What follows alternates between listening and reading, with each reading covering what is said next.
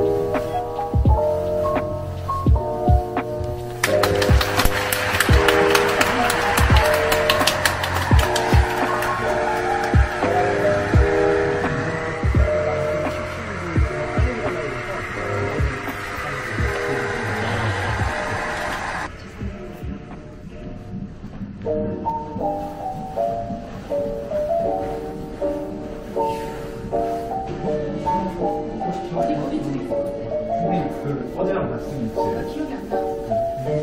이난 솔직히 그런 얘기 한 번도 여기서 이게 새로 나온 카메라. 잘 나오고 있어요. 네. 아 좋다.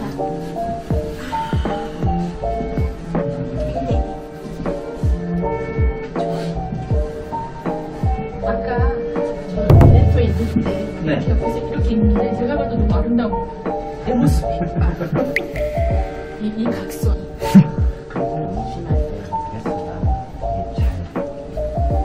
아니 우리 학교에서 이런 저기 이런 씬을 배울 때 이런 거 앉는 것도 되게 여러 가지 이렇게 보도사는 앉으면 이렇게 읽는단 말이야.